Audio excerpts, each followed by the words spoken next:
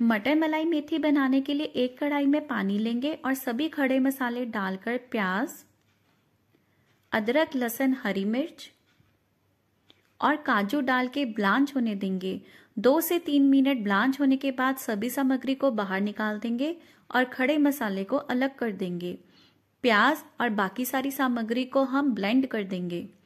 अब उसी पानी में हमने मटर डालने हैं और साथ ही डालनी है मेथी।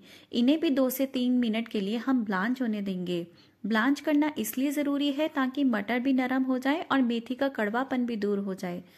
जब ये ब्लांच हो जाए, तब इन सबको भी बाहर निकाल लीजिए। अब एक कढ़ाई में लेंगे बटर, घी और उसमें डालेंगे जीरा। फिर वही प्याज की पेस्ट जो हमने पहले बनाई थी, वो डालकर इसे लगातार भूनते रहेंगे।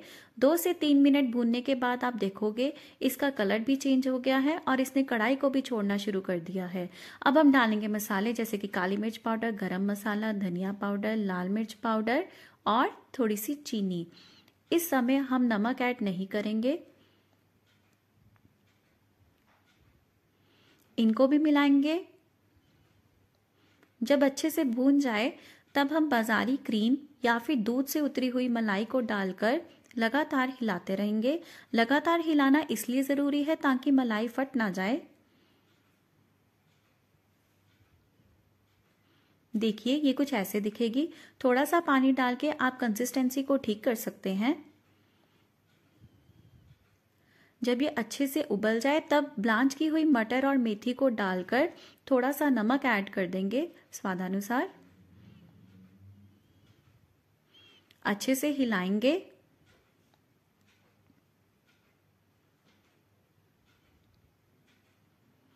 और ढक कर दो से तीन मिनट के लिए पकने के लिए छोड़ देंगे। देखिए, ये अच्छे से बॉईल हो गई है। ओ वाह कितना सुंदर कलर आया है। लग रही है ना ये भी रेस्टोरेंट स्टाइल मटर मलाई में थी। आप भी घर पर बनाइए और खाइए और खिलाइए।